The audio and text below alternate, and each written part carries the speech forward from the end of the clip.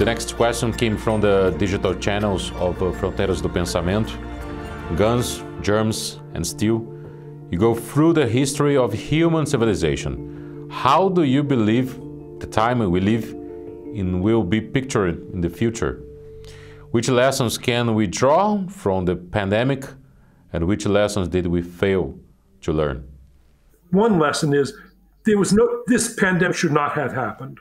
Uh, this pandemic arose from contact of humans with wild animals in the wild animal markets of Southeast Asia.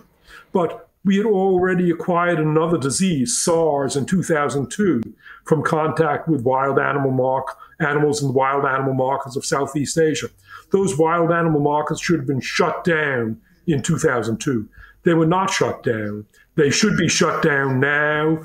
And the trade in wild animals in Southeast Asia and the bushmeat trade should be shut down because if it's not shut down, we're going to get other new diseases like COVID and like SARS from contact with wild animals. That's one lesson. Another lesson that we can we can learn now. It's a simple lesson. Be prepared.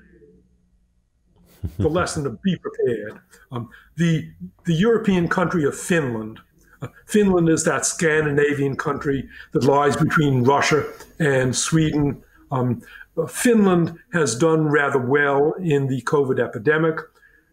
Why? Finland had a very bad experience in World War II. Finland was attacked by the Soviet Union, which was enormous. The Finns managed to fight and retain their independence. But for four or five years, they were cut off from the outside world. They were cut off from imports. And ever since World War II, uh, the, the Finns have thought about everything that could go wrong and how to prepare for it. A Finnish friend of mine is on a Finnish government agency that meets every month, and each month they think of something new that could go wrong and to prepare for it.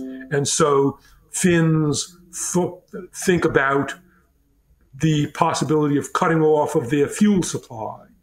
And so they stock fuel. And Finns think about cutting off of their wheat imports. And so they stock wheat.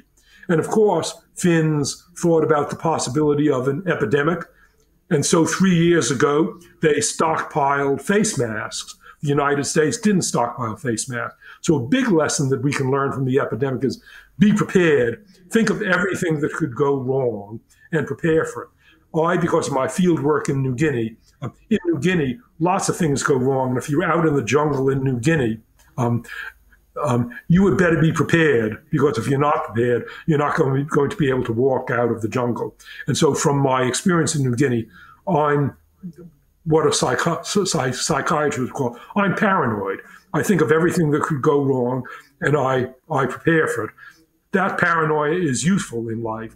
In Brazil and in the United States too, the Brazilian government and the American government should think of everything that could go wrong, just as has the Finnish government and be prepared for it.